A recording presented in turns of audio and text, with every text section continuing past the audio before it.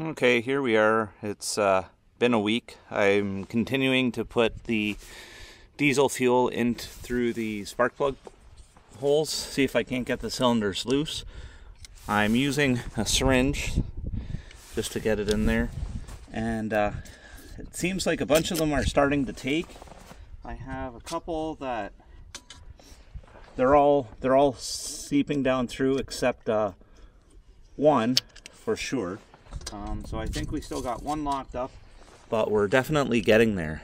Um, so we'll keep doing this for about another week. I'll keep uh, trying to crank it over.